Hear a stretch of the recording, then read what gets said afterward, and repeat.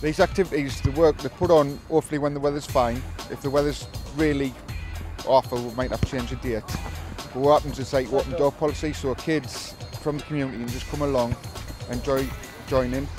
There's a few kids walking past and they've just joined into the um, which is fab, you know what I mean? It's getting kids off the street in a supervised area and they're not up in the street causing damage to cars and whatever and kicking balls off windows and annoying neighbours. Well, uh, today's activities were in Marley Potts playing fields.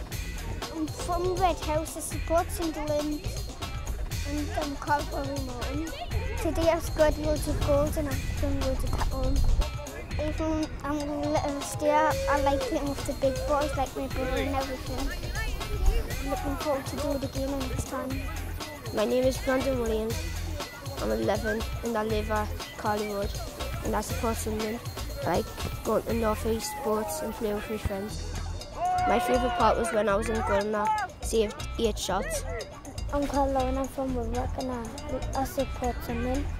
I love community play football because I get to spend time with my brother. My feel part of the day is.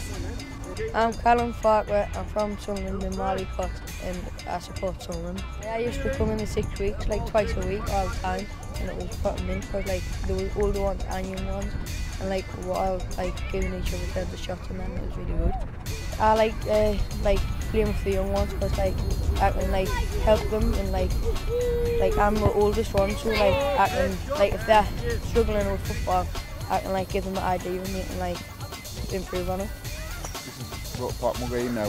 What we find what's best about these events is lads who's totally strangers turn up, play together in a supervised environment, make new friends, and that's the best feedback we've had because the kids are happy knowing that not going to get bullied, not going to get pushed off the ball, and they're playing with kids who don't really know and they're making new friendships. It's fantastic to see. A lot better, like rather having like when getting to know people that like you can play with later on, and then rather than just having like we mates.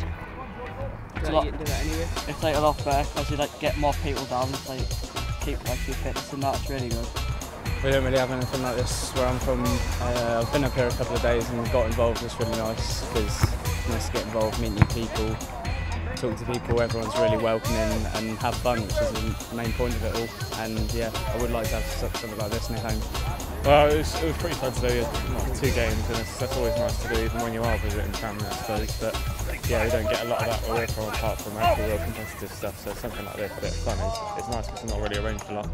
we want to take this project across the city wide um, and we've already got potential working in three areas East holidays and going forward to something into summer I'm looking forward for the North East Sports in Easter.